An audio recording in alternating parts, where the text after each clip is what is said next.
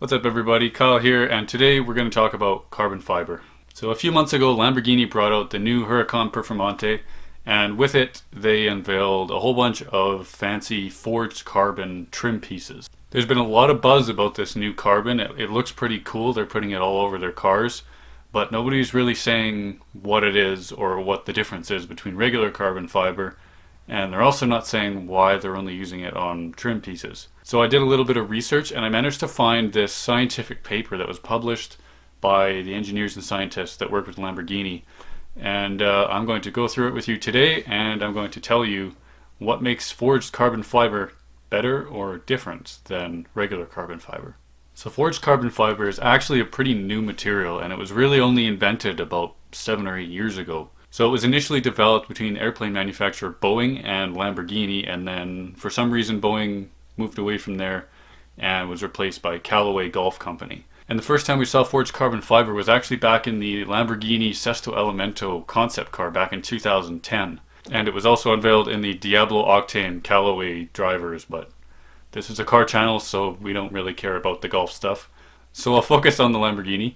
Uh, it was used in the suspension components and I think a few other areas, but it never actually made it to production until the Huracan, as far as I know. So, what is forged carbon fiber? Well, regular carbon fiber is made from these like fabric sheets of carbon. That's sort of like a it's a woven sheet that they place in a mold and then they put resin on it and it's cured at high pressure, high temperatures, and it takes a long time. It's a very tedious process and that's part of why carbon fiber is really expensive.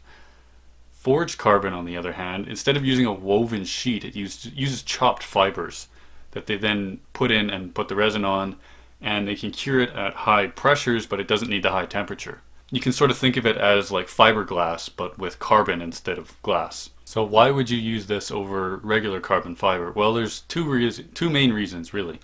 Uh, the first reason is that it's fast. They can, regular carbon fiber, it takes a long time to set. It takes hours and hours to bake it in an autoclave. It's very, very labor intensive to make things out of regular carbon fiber. Whereas the forged carbon fiber, uh, I'm not sure how they do it. Maybe they spray it or they just lay it out. I don't know. But they can fill the mold, put the resin in, and they can set it in like five minutes. It drastically reduces the production time and it just makes everything a whole lot easier. The other thing is that because you're not working with sheets, you're working with a fiber, you can make a lot more complex shapes with forged carbon fiber. You don't have to worry about, you know, getting sh a sheet of something into a mold. You can just sort of stuff it in there and it'll fill all kinds of crazy shapes. So if this stuff is so great to work with, why aren't we seeing it everywhere? Well, one is that it's invented by Lamborghini, so I would imagine they have some kind of patent on it. And two is the strength. Regular carbon fiber is just as strong as steel, but it's like a third of the weight or something crazy like that. Much, much better material in, in terms of strength per weight. This forged carbon fiber, on the other hand, I'm going to throw a, uh, a graphic up on the screen here. You can see we've got a strength comparison here between aluminum, regular carbon fiber, and forged carbon fiber. Now you might notice on the top there it says that for aluminum they're using the minimum yield strength, and for the carbon fiber they're using the ultimate strength. Now, if you're interested in the difference between those, just Google it. It's fairly simple. Uh, all you need to know is that they are comparing uh, failure points of the different materials. They just have slightly different names because they behave differently under load.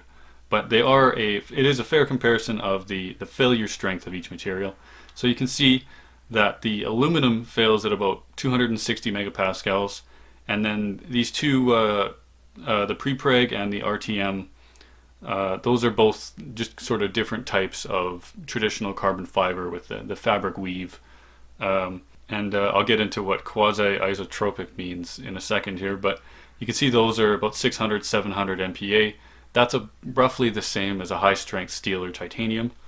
And the forged composite is 246, so it's roughly equivalent to aluminum in strength. It's a lot weaker. The other thing you'll see here is tension modulus. So what that is, is the stiffness of the material. So strength and stiffness are different things. Strength is literally just the amount of force the material can take. Stiffness is how much it's going to deflect under that force. And you can see here that the forged composite is actually roughly equivalent to the other types of carbon fiber for stiffness, but it is a lot less stiff than aluminum and uh, also steel as well. So why isn't forged carbon as strong as traditional carbon? Well, that comes down to that quasi-isotropic part. So isotropic, what does that mean? Isotropic means that a material will behave in the same manner no matter what direction you're pulling on it. So for example, metals like aluminum, steel, copper, pretty much all metals are isotropic. You can pull on them this way, you can pull on them this way, you can bend them, you can twist them. They're going to react exactly the same way.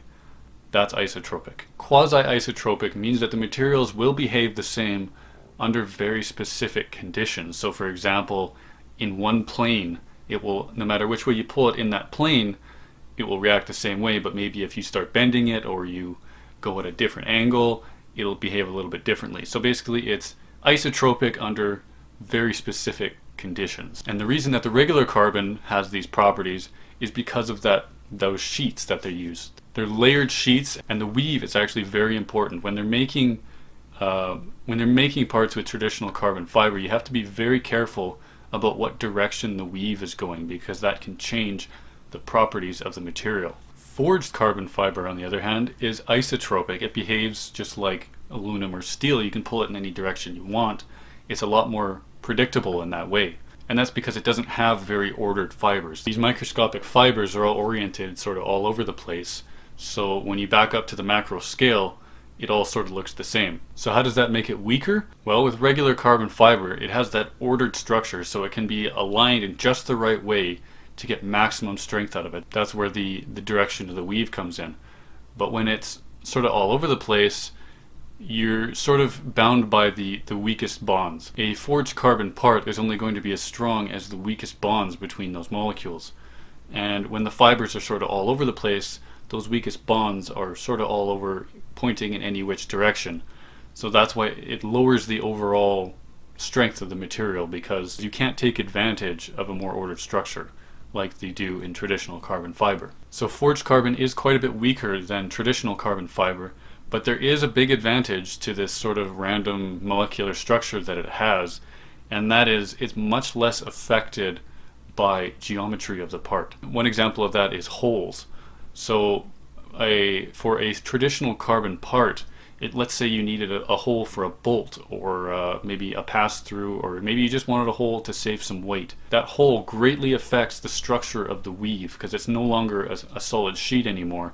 Once you cut a hole in it, it sort of it ruins the structural capabilities of it a little bit. Sort of like if you have a t-shirt with a hole in it and you start pulling on it, that hole is just going to get bigger and bigger and bigger.